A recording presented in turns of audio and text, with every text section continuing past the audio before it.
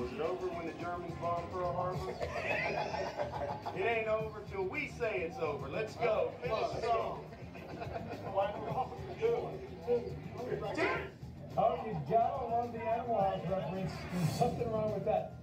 Dan Smith would score first in this one. Scout Brown gives it a whack, and Todd Jorling comes in along with Jason Kendrick, and it is 2 0 in the first. Dan Smith on top. Then Demond Thomas. He slaps a single. That's going to bring him to Bose.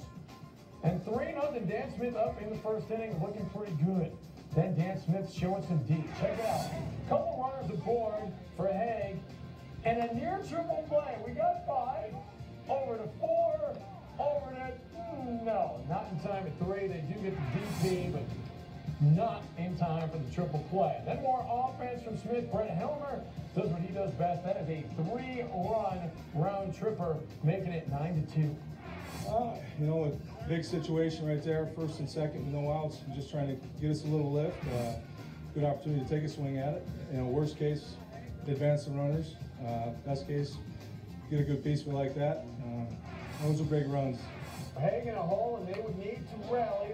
Later on, it's bases loaded for Bryson Baker. He doubles in Rusty Baumgartner and Jeff Wallace. And Hags gets something going at 9 to 4. Dan Smith huddles up. You know, this is probably the fiercest rivalry in all of big time softball, and they don't want to let this one slip away. Oh, well, that's, let's show it. Well, then let's give it to him, show it to him, let him try. Well, then, yeah, then we're saying get him left center. Yeah, yeah. Yeah, we're on the same page. Two outs, Dell back to deep left field. Jason Kendrick and Robin Higginbotham collide. And Kendrick somehow hangs on to the baseball. Nice play.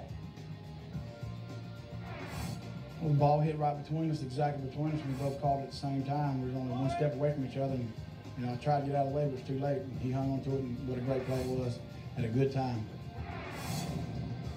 Seventh inning, last chance for Hague. Down by five. Scott Strebel singles to start the inning. They might have something going. And then Albert Davis going to follow it up. The Florida native goes deep, two-run home run. But Dan Smith would hold on and they prevail in this one.